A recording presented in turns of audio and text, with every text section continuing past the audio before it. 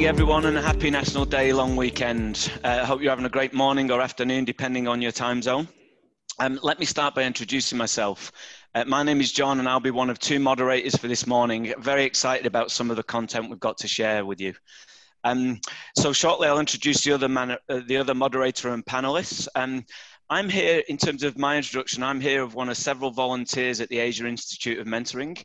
And if you do have a passion for mentoring or would like to be a mentor or a mentee or a volunteer with us, more information will be provided at the end of this fireside chat. So today's fireside chat is part of our United Against COVID-19 series. This covers three main pillars. The first one is crisis management, the second one is career resilience, and the third one is personal well-being. As you're now part of our mailing list, you'll see you'll receive invites to these events. Please feel free to join um, to any of them, and we'll provide more details of how you can do that later. So, why are we here on this Saturday morning? I hear you asking yourself. Well, we're here because somebody or something is out there killing our creativity. Someone is murdering our creative chakras, and it's time to find out who. I'd like to introduce the second moderator for today's event, and, and this lady's Delphine Ang, you'll see there on the video. And by way of introduction, Delphine has over 20 years experience developing and managing events in Asia and the Middle East. Delphine is a bridge builder, people connector, community developer, and platform creator. She focuses on creating and organizing people focused and heart orientated programs that serve to inspire and transform people's lives.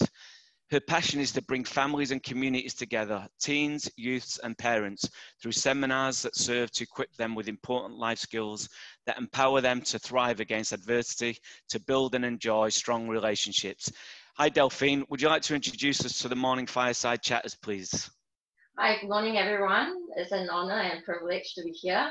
And it is also my uh, great, great pleasure to introduce my two good friends, whom I have known for like at least 15 years. Although I do have a formal introduction that I'd like to read to you. So if you could spare me some time. So the two, my two friends are Gaia, Gaia and Andrew. So Dr. Gaia Grant is an adjunct researcher and lecturer at the University of Sydney Business School who has developed the unique innovation change leadership profile measure to assist developing future-ready leaders. To assist future-ready leaders. Mm. Gaia has presented keynotes on her research into ambidextrous leadership to clients like Gartner, Gartner Sales, YPO, Hargreaves, and a number of government bodies, along with the top-ranking Academy of Management and European Group of Organization Studies events. And now Andrew. In case you guys are wondering, they're actually husband and wife. So Andrew Grant has been a professional keynote speaker with, and consultant for the last 20 years, headlining international conferences for market leaders, including Mercedes-Benz, Estee Lauder, Boeing, Four Seasons, Hotel, Four Seasons Hotels, Nestle, and Salesforce, along with a number of major financial organizations. He is a TEDx, YPO, APEC CEO Summit speaker. So welcome, Andrew and Gaia. Welcome, and guys. Thank you for having us. So, so guys, before we um, we kick off the the poll, um, welcome and thanks for taking the time out to share the, your knowledge and experience um, with the with the people on the, the webinar this morning. And the poll itself is going to have a couple of questions, uh, and then we'll get into some discussion around the poll results. And so people on the webinar, I'm about to launch the poll now. And if you can um, answer the questions as quickly as possible. There are no right and wrong answers. For those in Singapore, this isn't a test. Um, so please make sure that you answer them and uh, let's see what interesting results we get. And don't worry, we haven't started any tests on creativity. Exactly. Okay, you should be seeing the poll in front of you now.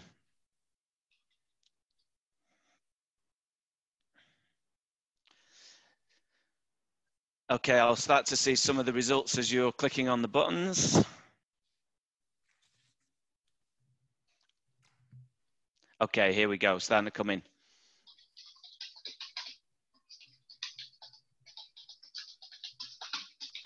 So 25%, 30% of you have answered. Here we go. Interesting.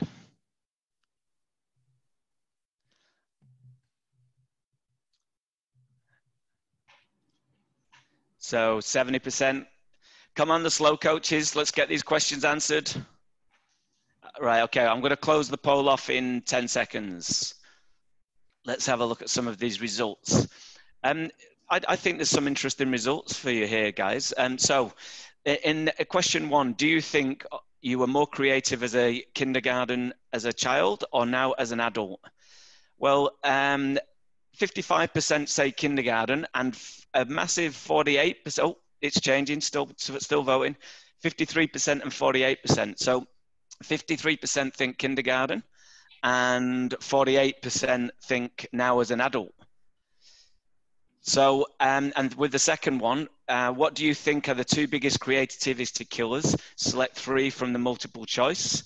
Um, the three largest ones were um, number one with 67% was fear. Um, number two uh, with 55% was narrow mindedness. And number three with 45% was control. So, welcome, um, Gaia and Andrew. What have you got to say about those results? Well, I, very interesting. That is a little bit unusual for the children in kindergarten because uh, the statistics show that 98% of us were creative as children and creative only, geniuses. Creative geniuses and only 2% of us are creative as adults. So the overwhelming research shows that whilst many of us were extremely creative as children, unfortunately, we seem to have lost that. And that definitely got us on that road of why we wrote the book, Who Killed Creativity and How to Get It Back, and got us thinking about why we should be addressing this issue because everyone's telling us we need to be creative. We'll talk later on about why that's important as an adult. And yet, we've discovered in our research, not this research, because uh, that 98% of adults are not. But here we are saying that 45% of you have said you're more creative which as an is, adult. Which is great. I think we've attracted a creative audience. Did, or you had a very um, uncreative kindergarten. an, an update on the. Which, uh, I don't know which one it's going to say or more you have about. a very creative workplace, which is an great. update. An update on the poll as well. It's actually gone to 50-50. Oh well, that is that is a very wow, first. It's and, highly um, unusual. As Jay has said, you could do the half cup half full or cup half empty. Either you had very very, very not, very, very not creative kindergartens, or you're all very creative people, and we seem to have attracted the creative ones who are waking up on a Saturday morning to do this. Let's hope it's the latter. And, and what about the um, the multiple choice questions? So the, the numbers where we say narrow mindedness. Uh, so fear number one, yeah. narrow minded number two, and control number three. That actually fits with the psychology. And the psychological research says that fear is actually a foundational challenge for most human beings. And that is what shuts down our creative capacity.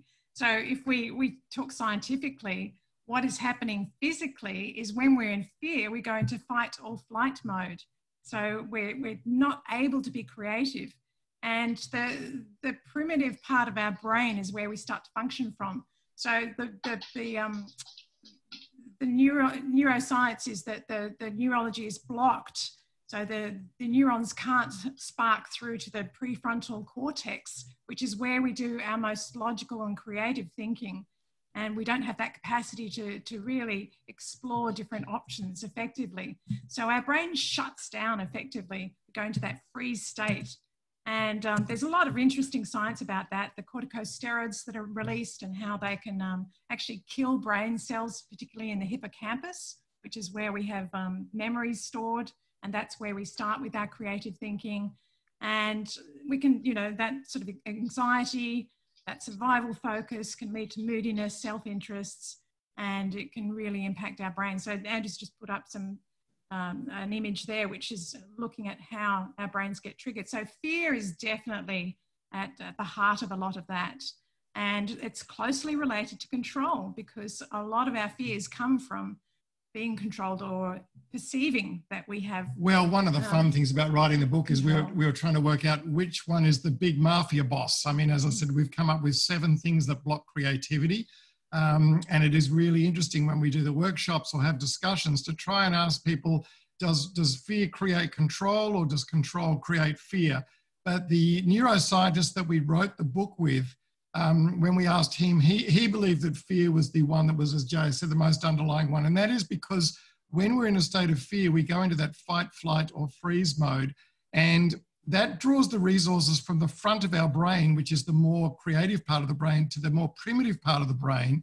And, and therefore, you've only got a certain amount of bandwidth. Now, that was great when we were designed to run away from uh, issues, run away from emergency situations. My challenge to most of us in the workplace is how many times are we living in that workplace where we're living in a constant state of fear, mm. a constant state of fight, flight, or freeze? That stress. Yeah, and and it, it, it was it's right. It was only meant for a short period of time. As a survival mechanism. A, yeah, and, and yet and yet we sadly are living uh, in a in it regularly. So one of the things we need to think about is if we're serious about being creative and this is why we wrote the book. How do we get rid of the killers? There are so many books and YouTube videos and steps and brochures on how to be creative, but and, and so many companies that jump straight into let's let's give everyone pizza and coke on a Friday night and do a hackathon and and, and, and do design thinking, but none of them address the neurological issues that we have in our minds. It's saying, I'm not creative because, and it could be because of one of these seven killers. Mm. I was going to add too, because the third one that came up was uh, narrow mindedness. So that fear and that control can actually sort of shut down the different, um, it, can, it can prune the different um, pathways, neurological pathways in the brain. And it can shut down our thinking, our openness to new ideas, so that we become very channeled in our thinking and we stick to habitual pathways which become can become highways of thinking instead of um, being open to, to different options and exploring different options and continuing to learn. So that's really the next step after fear and control. So I think you know the audience has picked up on some of the key issues. And, sure. and, ha- and having having done this, you know, obviously across the globe, do you do you typically see um, any difference between the regions that you go to present this material in? Well, it was very interesting when I, you know, I, I feel like I've, I won't say kept Singapore Airlines afloat, but spent a lot of time traveling to Singapore and we lived in Indonesia for 15 years. So we're not going to be experts on, on, on different cultures, but we've certainly lived there long enough. And I must say, when I talk to um, millennials in Silicon Valley that say they work for a startup, they're very excited to run home and tell their parents they're working for a startup but unfortunately, if anyone gets a job for a startup in Singapore, they're not as keen to run home and tell their parents they're working for a startup. I think they'd be more happy to tell their parents they're working for the government. So there is um, there is definitely a difference in culture. Or a big bank. Or a big bank. there is difference, definitely a difference in culture between uh, risk appetite, and you know they're, they're both both can have their pros and cons, but there's some of the differences that we've seen. Joe. And and a lot of that comes down to the education system. So, whatever the education system is teaching, is it teaching empowerment? Is it teaching independent thinking? Is it encouraging self discovery and self learning? If it is, then you will have more creativity because people feel that freedom. They, they don't have that fear to express themselves.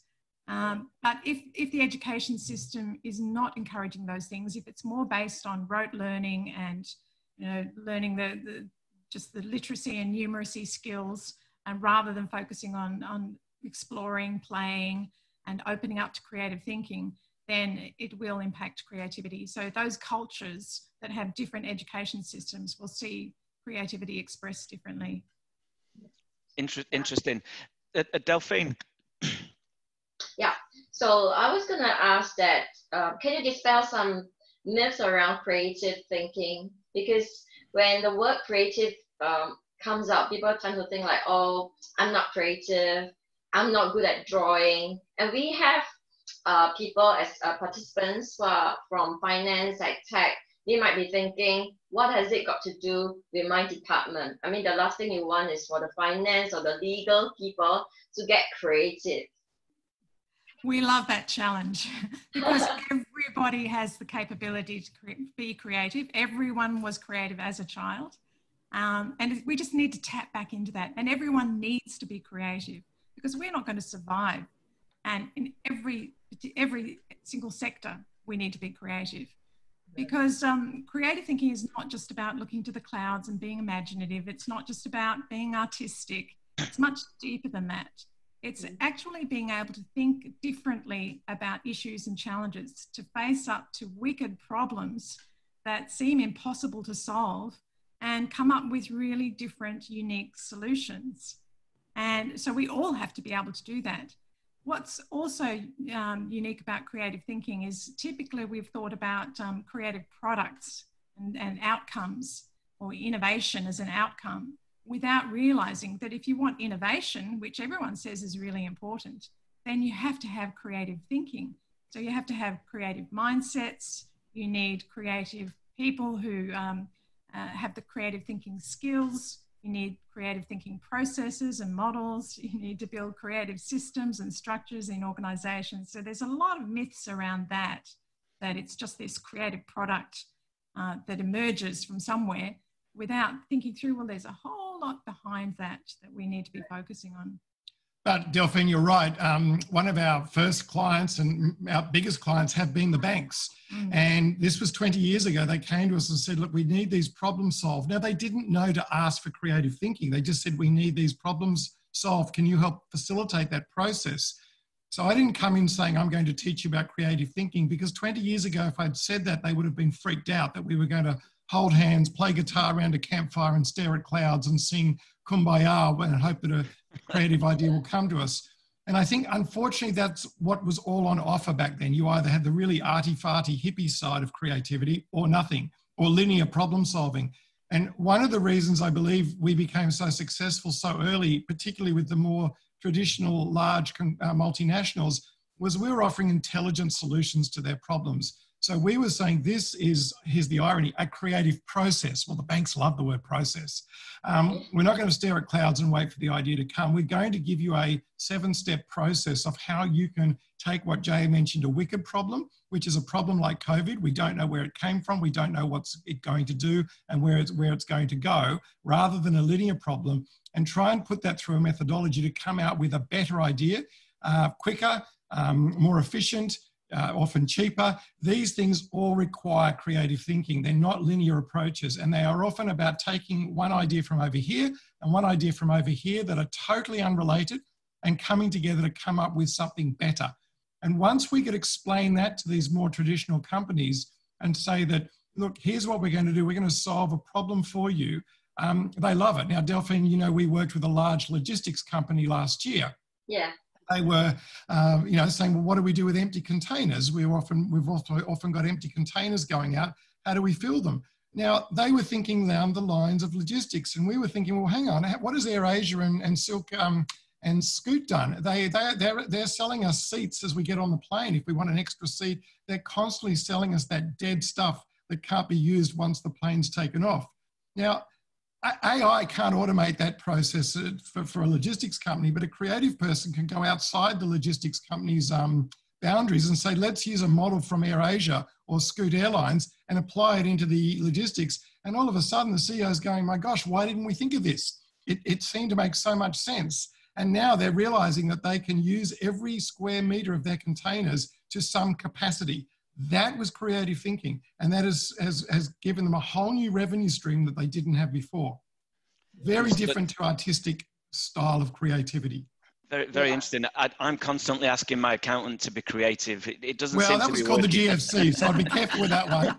Uh, the banks did try that, and uh, obviously we need a few boundaries around what creativity means. Yeah, and creative doesn't mean that you have to be original. You could be looking at an idea that someone already has and you put it into a new situation to solve a new problem. Absolutely. Right. And you know, at the end of the day, there's not many original ideas around. Uh, Inventors it, always build on yeah. other people's ideas. So, uh, yeah. for, the, for, example, the printing press uh, didn't just emerge in Europe in, in, in the Middle, Middle Ages.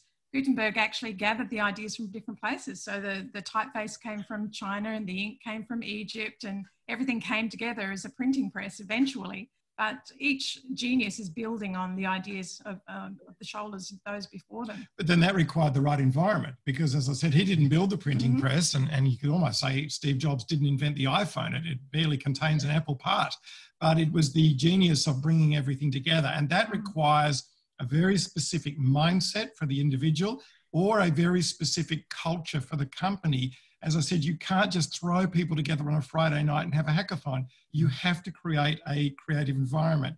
one large finance company or insurance company we went to in Singapore, he took me up to the top of his building and said, Here's our multi million dollar innovation lab. And it looked absolutely fantastic. And we walked around it and saw all the beanbag chairs and the color posters. And, and then he took me into the side room and said, But it's not working. And I said, Why is it not working? He said, Well, the boss still takes the corner desk and people are still not collaborating and we're still not coming up with collaborative ideas.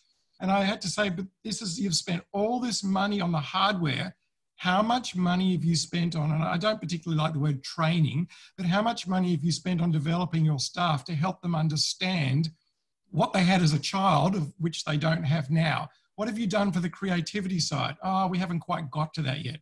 So, as I said, you can't just throw a lot of money at people and a lot of time and tell them to do, do it. Leaders need to create a culture that allows creativity to flourish and leaders need to create a culture that attracts creative people. If we've got a lot of startup people on this call, how, what are you doing to attract? There's a war for talent. What are you doing to attract the most creative people in your country to come and work for you and not your competitor? And there's a question I'm not going to answer. I'm going to leave that up to you. How are you attracting the creative class? Now, I think Singapore's doing an amazing job in Asia, sucking the creative class out of the rest of Asia. Um, and, and there's reasons why they're doing that. They're putting the environment, they're putting long-term strategies in place to ensure that they're making the people that are creative wanting to live there. Very clever.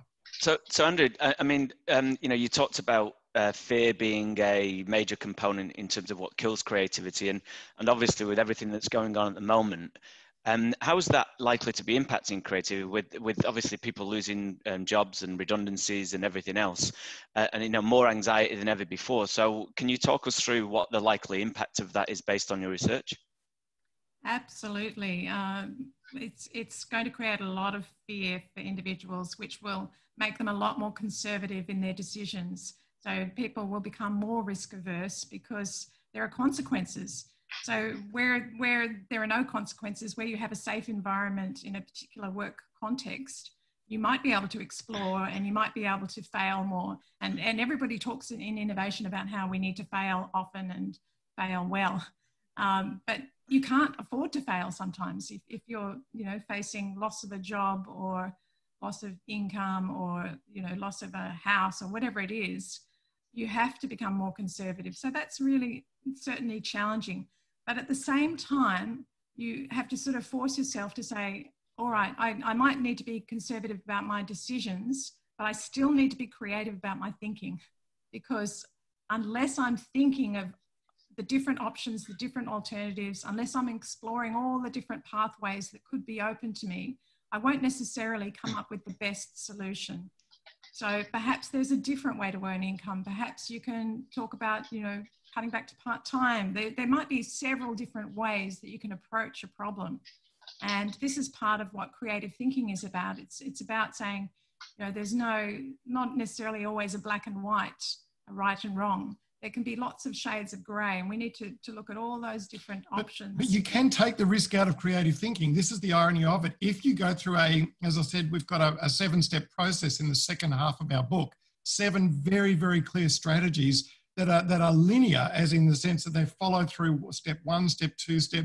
If you follow that process carefully, the first part of that process is the creative thinking, which is the generating ideas and making sure the divergent thinking, you go as high as possible to get the very, very best ideas, not the first one that comes into your head. But that's not the end of the book or the workshop or what we offer. You then need to transition people into critical thinking, saying, right, now we've got these top three ideas which are the ones that are most likely going to work. And then you have to take them through a critical thinking process, the what ifs, the scenario plannings, where could they go wrong? I mean, how many of the big companies recently have launched products that have, you know, that the reviewers have told them it doesn't work or it's not waterproof or the battery explodes or you can't peel the plastic off a folding phone? I would have thought, you know, that, that, that should have been done in the prototyping stage, in the testing stage. So if you do follow a clear process, I mean, the, the, the latest buzzword now is design thinking, but the, it's been around since the 60s. If you follow that clear process and go into the divergent thinking first to make mm. sure you come up with the best idea, and then bring it down into the critical thinking to make sure you come up with the best idea that will actually work and anticipate all the things that go wrong, and it is a seven step process, then it actually will minimize the risk. Mm-hmm. to make sure that you're not releasing a something that's not going to work in the marketplace. But look, none of us can sit still at the moment with what's going on. We have to reinvent ourselves. It may we may be paralyzed by fear and say, well, we can't do anything. But what's the alternative? We just sit back and let the world pass us by. We all have to reinvent ourselves. So I think using this creative process that we've designed is, or, and it's not just us. I mean, there's plenty around, but obviously we like the one we've designed. Mm-hmm. Using the creative process that we've come up with is, is to me the safest way to make sure you can reinvent yourself as we transition into a year where we don't know where it's going. We don't know what the outcome's going to be. What's the alternative? To sit still and let the world take us by?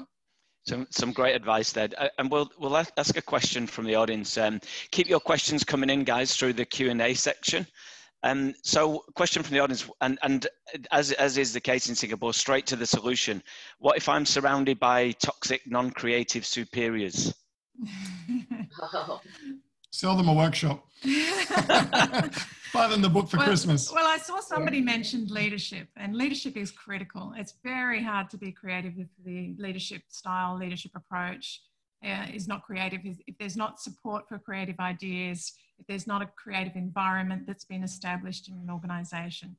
Uh, there's a couple of answers to that. You still can do what you can do within your realm of control. So with your own peers, with your own work workmates, um, with the way you approach your own work, uh, you can still be creative. You can sort of you know shut yourself off from that toxic environment if possible. Well, first of all, you've got to be aware of. I mean, I mean, the first thing is to identify the toxic environment. That, yeah. That's the challenge. We, we and, and the impact that it has on on you. Yeah, I mean, you and, can't and to know whether you know there's, there's just nothing you can do, or whether you can still work within that. I mean, a lot of people come to our workshops, and the only feedback is, "I wish my boss had done it," um, because he's the one controlling me. So, what we need to think for people to do is, as Jay has said, if, if you're in that environment and you, like Stephen Covey says, you've only got a circle of influence that you can control, then you've got to start thinking about uh, what is blocking my creativity? Is it when I go to the boss's office, I freeze up with fear? And then rather than give the boss a lecture on that he needs to do this course, you can say, well, what, what do I need to do to prepare myself when I'm going to the boss's office? What yeah. level of resilience and optimism do I need if the boss is going to shut me down every time I come up with a creative idea? Look, eventually yeah. leave and get another job, but that's too easy said or as Andrew said, actually, you know, recommend that they do workshops, education, and try to change the culture if you can and I'll give you an example of um, where we were able to have success in a toxic culture. So I worked with an agribusiness, and uh, the, the CEO of that business was actually quite innovative. And he just didn't understand why other people in the organization weren't coming up with innovative ideas. So I sat in on one of their um, executive meetings and I watched how people were interacting with each other. And I saw that when a member of a team brought up a creative idea, they were actually quite hesitant. They said it hesitantly, and then they'd look over to the side to watch for the boss's reaction.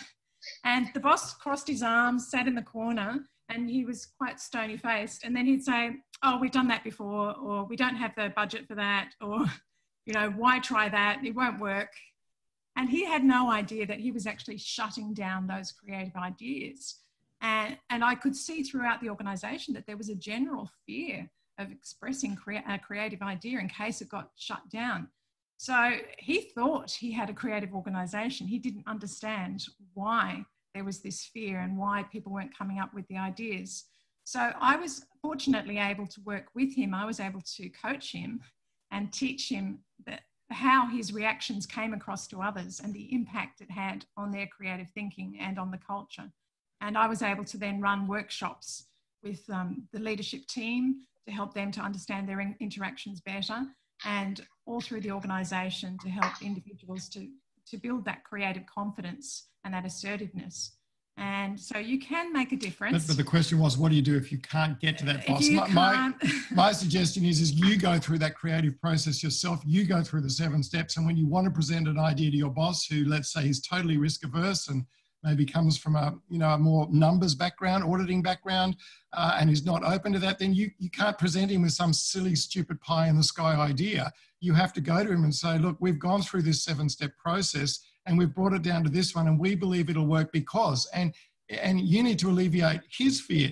He's being killed by creativity because of control, fear, narrow mindedness. But unfortunately, you're not his mm. psychologist, so you can't tell him what to do. So you will need to come to him and, and or her. or her, unfortunately, often it is a him, um, uh, come to them and, and preempt what, you know, part of it is how can you creatively present your idea in a way that they will accept it. And if you come in and say, look, I had a dream last night at two o'clock in the morning that we're going to do this, this, and this, he'll show you the door. But if you say to him, look, I've, I've come up with this idea, I've gone through this seven step process, I've prototyped it, I've tested, I've thought of all the things that could go wrong, what do you think of it? Then, then you're winning his confidence over. And you've got to keep in mind too that a lot of these CEOs are in fear of the board, so they've got We've to answer to someone else. So and and they're thinking, well, I've only got a short tenure. What can I achieve in that time? I can't take risks. So uh, you know, everybody's got a reason for but, reacting the way they do. But I'll just tell you one other, yeah, one other quick story that comes to mind is we had a, a boss engage us for a um, creative workshop, and mm. going through the seven steps, he had his top twenty people in the room, and then he said, um, gave us a great introduction like Delphine, but then he said, enjoy your training. I'll see you in two days' time. And first of all, I hate the word training. Uh, and secondly, I can't believe he had his top 20 people in the room and he thought he, he didn't need it. He could go away and come back at the end. And of course, he went away, which was probably good for everyone else because they breathed a sigh of relief because he was a control freak. Um, and we came up with hundreds and hundreds of great ideas, and they were all around the room. And he came back, and we were at the at the end of day two, we were going to present the best ideas. But as soon as he walked in the room and saw the hundreds of ideas, you could see he freaked out. Um, and, and the problem is he wasn't part of the process to show that in order to get to the best ideas, you have to go through all the crappy ones. And he didn't realize that. So before we even got to present the good ideas to him, he'd already tuned out because he was so freaked out when he saw all these, you know, stupid ideas. And many of them were stupid ideas. But you don't get to the good ideas if you're not prepared to go through those. So yeah. I was concerned that he didn't appreciate the process. And that was a real learning for me. Great. So some, some great answers and great advice there. Uh, Delphine? Yeah. So what can we all do to be more creative? I think I would actually like to ask actually, um, as a leader, how do you actually encourage creativity? Because we do have a lot of business leaders and HR leaders, and they would like to know how do I inject creativity into my organization? How do I develop a culture of creativity? Well, I think it starts by acknowledging that that there needs to be a culture. This is this is my my biggest concern. Um, when we wrote the book, Wiley, the publisher, came to us and said, "Another book on creativity. Prove to us this is worth publishing. What have you got to offer differently to anyone else?" So we had to do a lot of research to find out what was already out there because no publisher wants to publish another seven steps on creativity. There's already ten thousand of them, um, and so we thought, well, what's missing? And as we went into our workshops, again, particularly with banks, teaching them design thinking, many of them would say, this is a great workshop, but it's not for me. I'm, I'm, not, I'm not the creative person in my company. This is for someone else. Why am I here? And so we started collecting all these excuses and reasons and issues that people had with it's not my responsibility, this is someone else's. And that's when we put them into seven, what we call killers, and then ran them past our neuroscientists and psychologists to say what's going on in the brain to realize if we want to be creative, we have to start with what's stopping us being creative. What are the things that, that we might have had as a children, as children for the average person, not you guys, um, and what's happened in our journey over the last 20, 30 years as we've gone from being that inquisitive, curious, fearless child to now sitting there going, I can't do this, I can't do this, I'm crippled by creativity. And so that's why we, it was really important to preempt a workshop, preempt a half of the book with looking at these psychological and neuroscientific reasons for the things that block creativity. Of course, we've called it Who Killed Creativity because none of us wanted to write a book on creativity and not be creative. So, so forgive us for being creative and turning it into a metaphor, but we didn't want to be hypocrites and just talk about the seven psychological blocks of creativity. We want you to enjoy it and remember it as, as participants do. But I think it's really important that if we want to be creative, we have to start with a diagnostic what's happened to us. Why were we so creative as children? If you've got children on this call, go and look at their creativity and then compare them to you. And we may not get a 50 50 if you start comparing yourself to your children, looking at their curiosity, their inquisitiveness, their, their willingness to explore and try over and over again. I mean, it's interesting. Uh, sorry. Um, there was one time there was this guy at your workshop because I have to co-facilitate the workshop. He came out and he said, "I think I'm very creative," and he gave himself like ninety over percent. And then when he did the the creative test, and he scored like one out of seven. And then he, he thought to himself, oh gosh, I got to start paying attention because a lot of time some people may have a overrated um, belief in themselves. Uh, is that a good thing or bad thing to be? well, know, that's optimism, but I don't know. if, you, if, you're blind to your own mistakes, that, that, that, that's the beauty of a diagnostic, isn't it? Or 360. When yeah. we play the board game, so we've developed a board game, there's a virtual version as well as a physical version. But when we play the board game, the reason we've made the board game is we've got the characters and the weapons and the rescuers and we want people to be able to sit behind the characters. Nobody's going to go to their boss and say, You're killing my creativity, um, or even reflect on themselves what's killing my creativity. But as Delphine pointed out, if we do a CQ, um, a fun CQ test, if we play a board game where we throw the characters out on the board and say, okay, tell me what you think, you know, who killed creativity with what weapon and where, which is kind of the fun side of it. Um, then we then we start. We are first of all being playful in the way we're doing it, so that lowers people's guards. And secondly, it allows people to hide behind characters and start to explore uh, parts of creativity that they wouldn't have had in that relationship between their HR director or between their boss, because we're doing it as a, as a ga- gamification. So people let their guard down and they tend to play it more. Uh, I've also developed a more rigorous validated assessment. So we've got some. This is the educational and the academic speaking, but and we combine both. so, um, as, along with that, you know, we have lots of exercises that we do to help people un, uh, un, discover what's underlying their fears and their challenges, and to bring those to the surface. But then I've developed a, a validated survey, and it's called the Innovative Change Leadership Inventory, or, or the ICLI and that is a way of sort of teasing out what are the particular areas of challenge. So it's going to come out if it's fear, then you need to develop more um, freedom in thinking. And how do you do that? We talk about strategies in the book. You know, if if if um, you know if there's too much freedom, sometimes you might need a little bit more control. So how do you develop more guidelines and and your, your creative thinking process? We talk about that in the book. So there's a lot of um, you know strategies that once you've identified what are the particular areas of challenge for you then what can you do about that and how right. can you build a complementary team and how can you maximize your strengths fill in the gaps etc that's interesting. So, and I'm going to go to a couple of questions from um, from the audience. We've got some great questions coming in. It's a very, very engaged uh, group. And I, I, was reading in your, uh, I was actually listening to your book, I should say, not reading because I'm too lazy.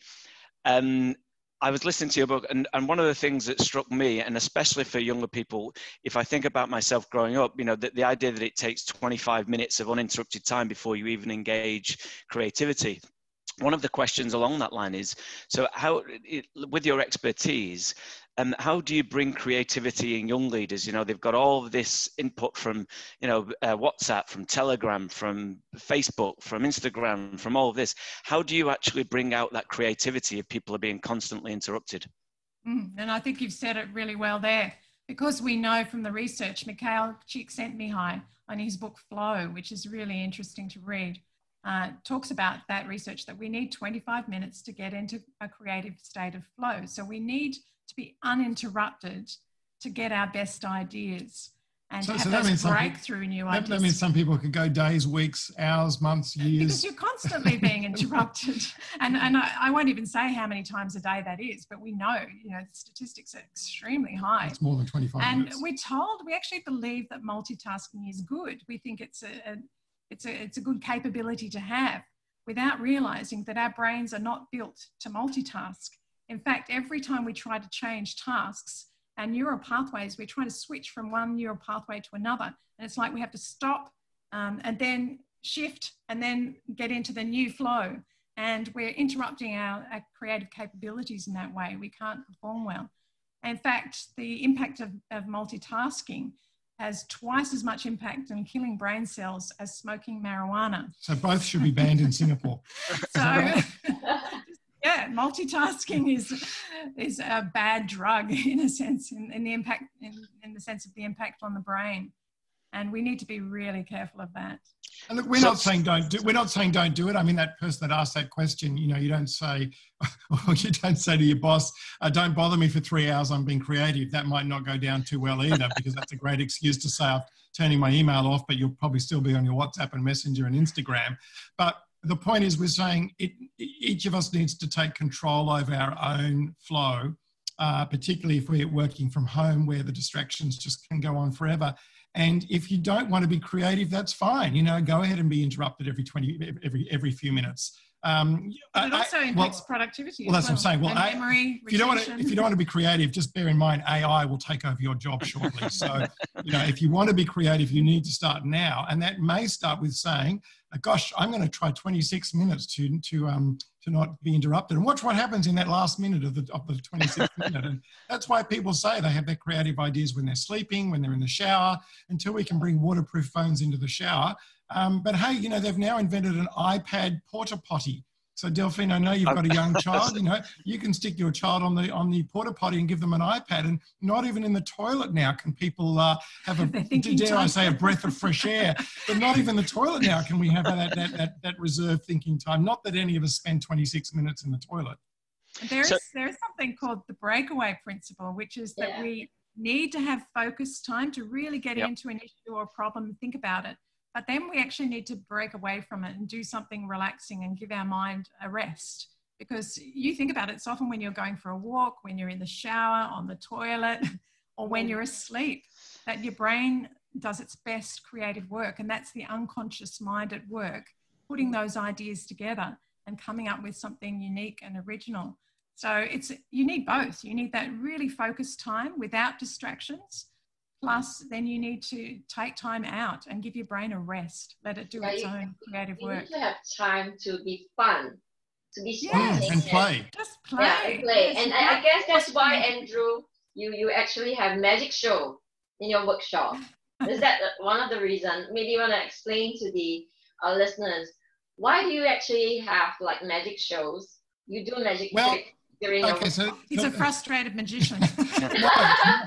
Um, the reason my background's education, and the last thing I want to do is bore people, and that's why I don't like the word training, because these days training implies a one-way de de delivery of skill. And so you can get that in the digital age without having to pay to go to a workshop. What I think is really important is we create a learning environment where people discover things for themselves, because when they discover it for themselves, they will remember it and apply it back in the workplace. Um, and, and everything else is free anyway. So what value can we add? We have to have an engaging environment. Now, look, every trainer says they're engaging, just like every hotel says they've got a comfortable bed. But I, I really believe we are engaging, as Delphine's realized that she's been in many of these workshops, but it's more than just a gimmick. We know that when people are in a playful mode, we know that when things are gamified, we know that when people are freely discussing, they are accessing a different part of their brain. The fear's gone, the control's gone, the pressure's gone, and it allows them to start exploring things that they wouldn't be able to do back at the workplace. So things that happen very fast in the workplace, um, a situation, we can, we can tease that out. And things that happen over a long time in the workplace, we can speed it up and show it. And so the idea of a gamified program or a simulation is so much more powerful than just a one-way delivery training program, which as I said, you can get on YouTube for free.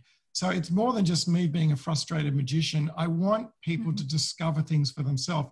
It's more than just playing a who killed creativity with what weapon and how to get it back, uh, or the innovation races we race around the world looking for innovation, which is our other book and maybe another workshop, uh, maybe another webinar.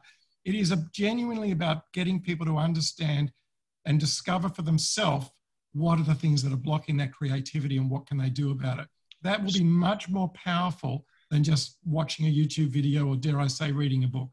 Yeah, I mean, I've gone um, through a couple of workshops, quite a few workshops with you, and you know, can you share with us an example of a success story of how an organization has gone from just being very stringent, very strict, very uptight about the culture to creating an environment of fun and they inject um, playtime and they have um, more activities that bond the uh, workers together and how that actually start the ball rolling for them to start uh, getting creative. Could you share an example of that? I'll, I'll just start with um, extending the example I gave before of the organisation where uh, the CEO was quite controlling without realising it.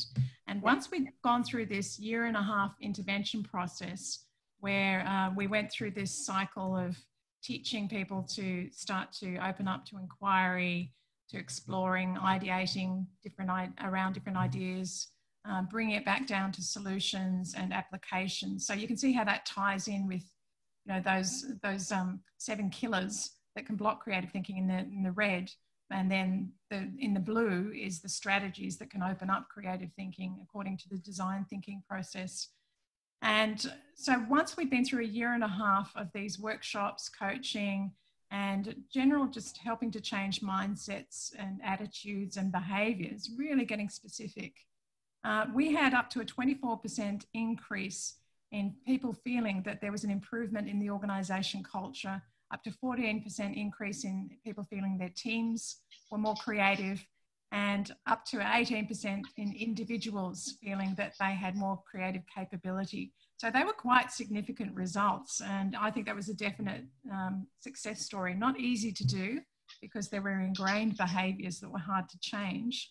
But people started to see the possibilities and, and feel like there was a difference that's being made. I don't know if you can think of another example, Andrew. Well, I was going to do the reverse. We worked for a company with an amazing boss. It's a, a huge global company, an incredible boss that had an open office and um, uh, you know, people loved him and he created a family environment and everyone was creative. And then he got promoted and was replaced by a company auditor from a country that's not known for being creative. Um, and all of a sudden, it was really interesting over the period of over the period of a couple of months. We watched these red dots come in. It started with control, which then led to fear. People were too afraid to talk to him. That led to pressure of people having to meet their numbers, which led to insulation. People would walk up the fire stairs and try and sneak into their office so no one would talk to them. That unfortunately then within a couple of months led to a feeling of apathy where people said, well, what's the, what's the point? I can't even bother trying. That led to narrow mindedness. I'm just going to focus on my job and nothing else. And, and really sadly, within about six months, that led to pessimism. Now, the good news is um, the company that sent him out there to do something realized that things were not going well and he was told he had to get coached by us or fired, which is not the sort of thing you do to a CEO of, of a country. Anyway, um, one of our team took him through a, a, really nice coaching session, and it wasn't easy because it was, you know, he was clearly a numbers guy. That's what he was very good at, and he didn't have the EQ or the understanding to see what was happening with his team.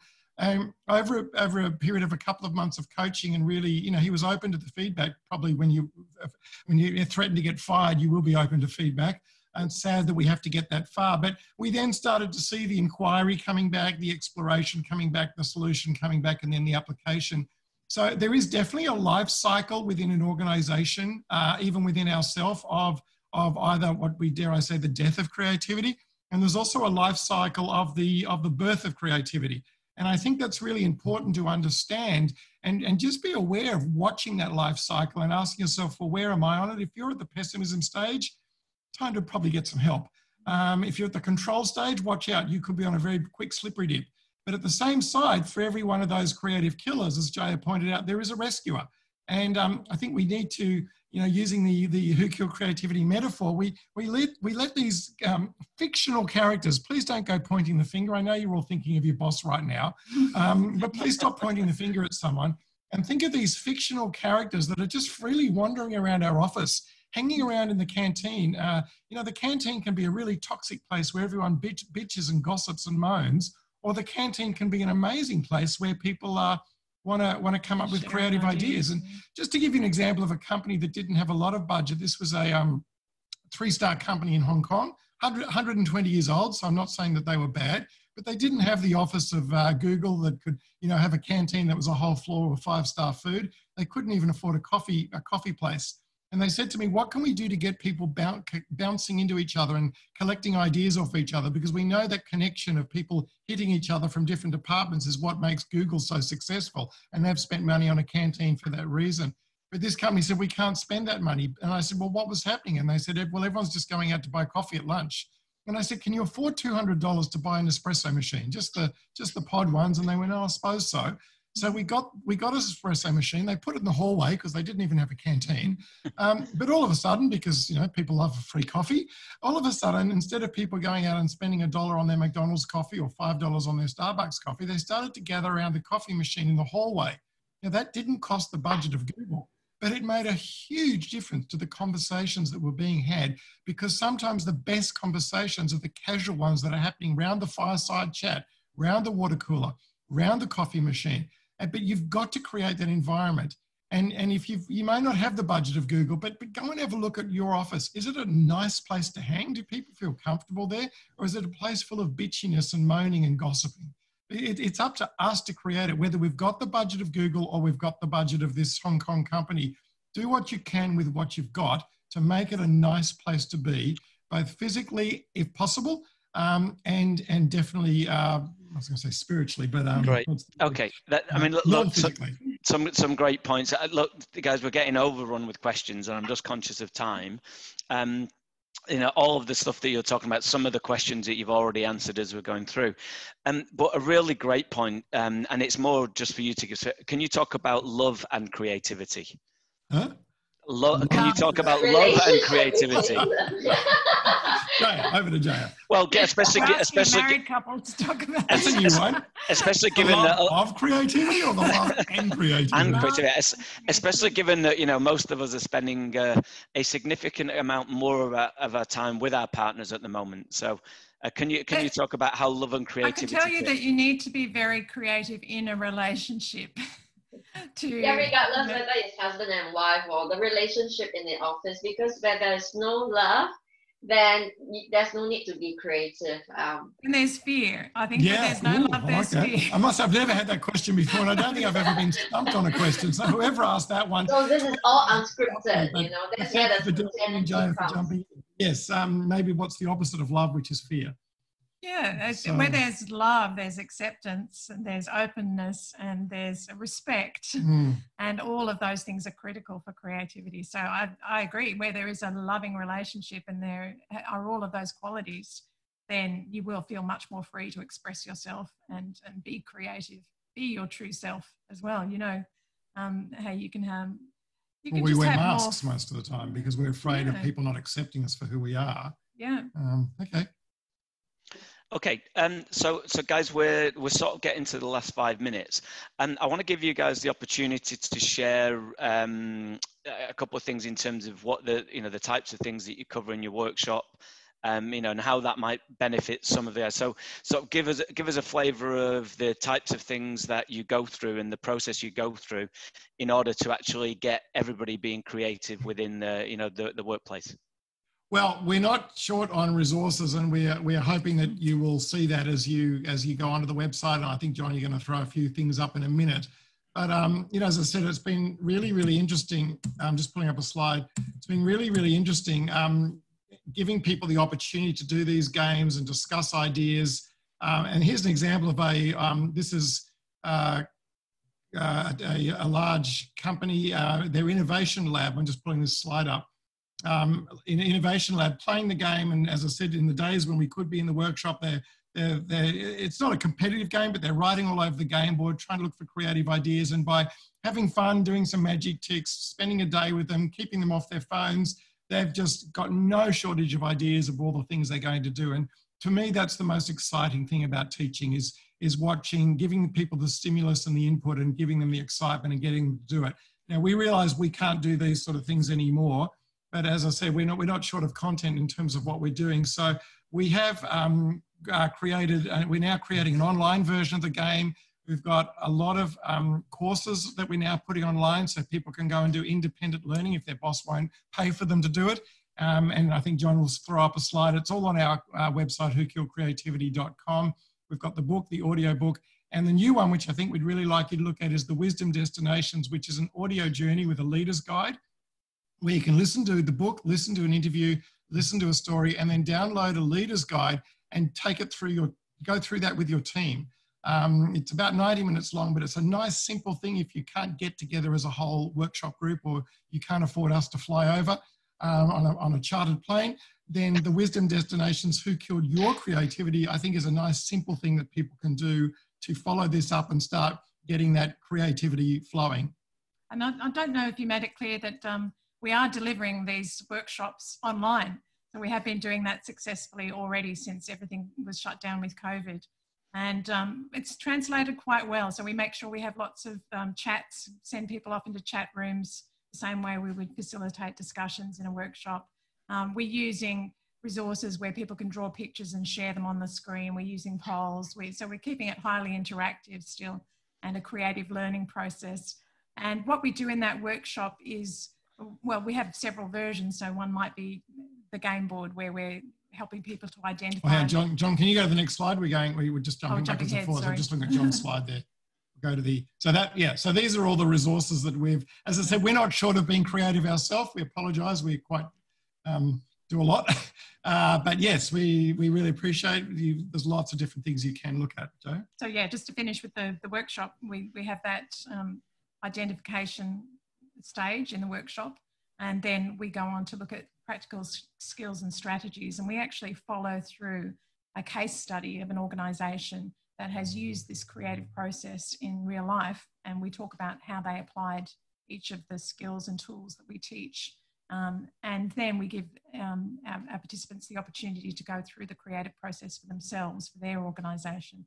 And what challenges are they facing and how can they resolve these issues using the tools we've taught them. So it's a, it's a really comprehensive approach. Well, it leads really in, it leads in, it leads into design thinking. As I said, a lot of people want to mm-hmm. jump straight into design thinking, but they haven't done the necessarily homework beforehand. So we're not going to try and compete with Stanford or IDEO. We, we think that this is an area that needs to be done prior to embarking on that design thinking. So I think the resources are up on the screen at the moment. As I said, no shortage of books, audio books, the right. wisdom destinations. And John, if you want to pop back to that wisdom destinations um, screen, Delphine twisted my arm to see if we could get the publishers to give a discount off this.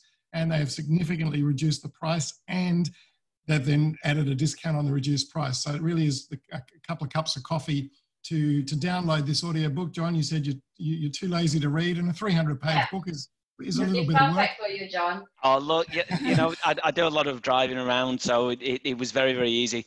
Um, mm-hmm. highly rec- highly recommend it, guys. Um, we're getting close to time. There's a ton of questions that we've captured in the Q and A. Um, I might ask for a little bit more of your time post this, Andrew, just to film the answers mm. to some of those questions uh, at a later stage, and we can send that out to everybody as well. Well, also they can follow us on LinkedIn. I mean, there's plenty of ways to keep in touch with us. There's the TED Talk, the YouTube TED Talk I did, um, and and yeah, please all you know, 150 people. You can connect to us, both of us on LinkedIn, but we've both got our own, so you can choose which one you prefer more. The, the beauty or the brains, which is probably Gaia and Gaia. Um, but yes, there's lots of different you, ways you to said keep it, in touch with us. And we're sorry we don't get to hear from you all, and we're sorry we're not in person. Um, but, but this is the best we can do at the moment. And hopefully the digital world will allow us to really build a relationship with all of you and keep the conversation going. We will respond to you.